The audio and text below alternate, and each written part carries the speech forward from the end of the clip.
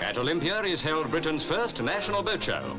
A royal barge built by William III is explained by two of the Queen's watermen. Here is Cowslip, in which Prince Philip has scored several successes. Max Aitken is at the show, sponsored by the Daily Express. Here's a tiny replica of Prince Philip's Bluebottle. Now something rather bigger, a glass fiber landing craft built for the Royal Marines.